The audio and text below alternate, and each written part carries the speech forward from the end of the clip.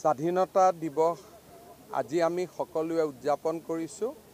মই অসমবাসী ৰাইজক স্বাধীনতা দিৱসৰ অলেখ অলেখ শুভকামনা যাচিছোঁ।